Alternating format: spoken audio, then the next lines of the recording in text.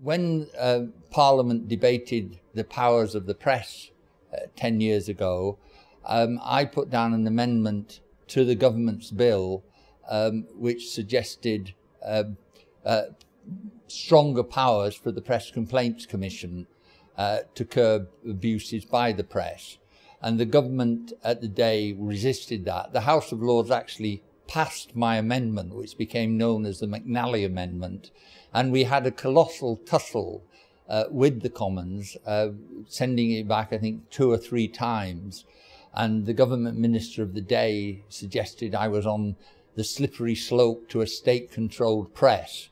Uh, I think, in the light of what was, has happened since, um, we were right, um, but the government of the day, as it always had, had the last, last word.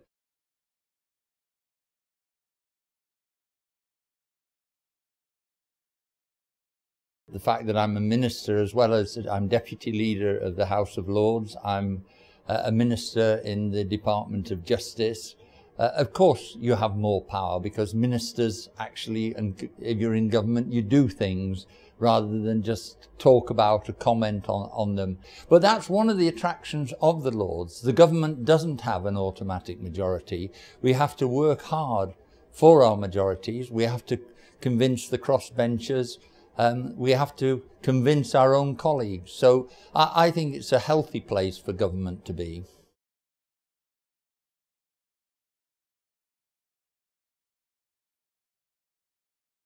Actually, uh, uh, both in the main chamber itself and particularly in committees, there is a great deal of expert, detailed work done.